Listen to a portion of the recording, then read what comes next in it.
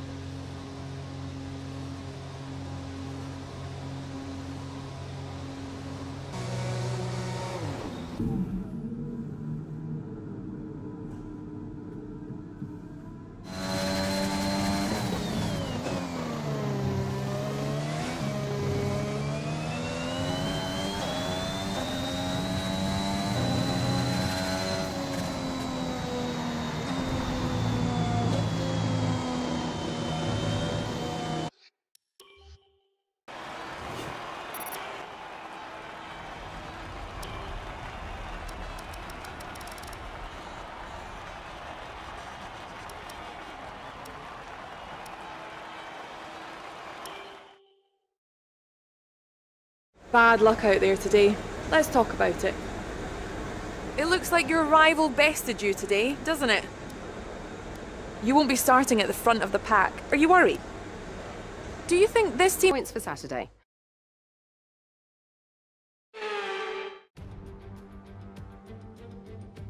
We return once again then to the home of British motorsport and the birthplace of the Formula One World Championship. It's race day here at Silverstone and it's time for the British Grand Prix. The 3.6 mile long Silverstone circuit is one of the longest of the season, with 18 corners in the current layout. With average lap speeds reaching around 145 miles per hour, it's also one of the quickest tracks of the year. Watch out for cars taking the right-handers of Abbey and Copse flat out. Also here, of course, is Anthony Davidson. Let's talk about more. What do you make of their performance so far this season? They've been avoiding mistakes and have had solid pace, so it's been a good season so far, but whether they can keep that up long term remains to be seen.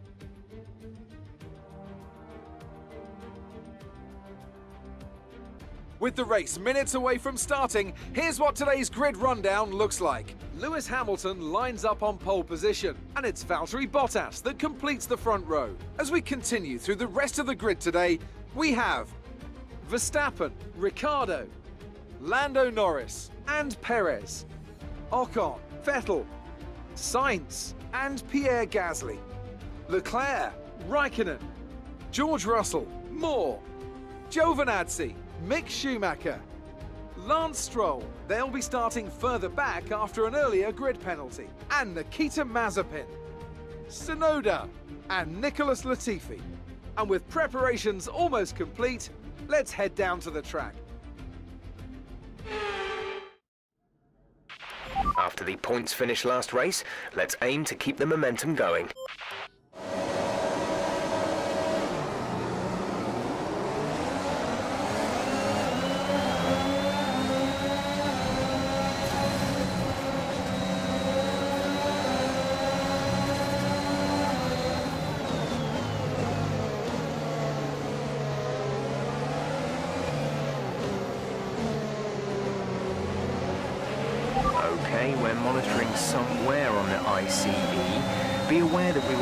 See a loss of power.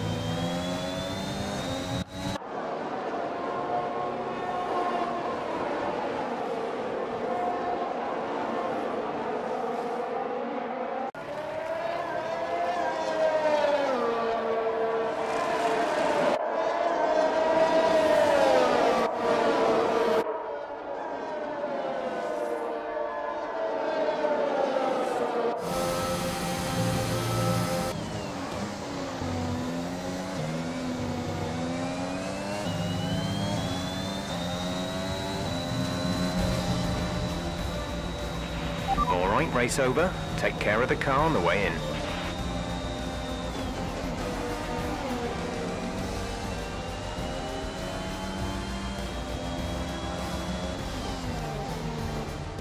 Well, they've done a brilliant job, I must say, under some intense pressure to take a well-earned victory here in the British Grand Prix. So, Anthony, what made the difference out there today? Well, the safety car completely changed the race, didn't it? It's hard to say exactly what would have happened without it, but there's no question that they came out of that situation in a good position. So after a magnificent race, we can now see the drivers making their way to the podium.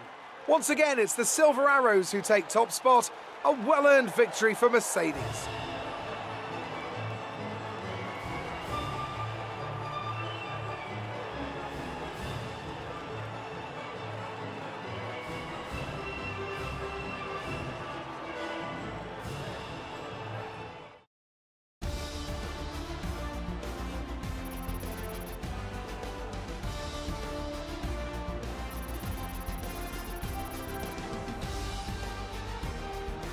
So, let's review the driver's standings. It's a great result for Lewis Hamilton, who moves further ahead at the top of the table.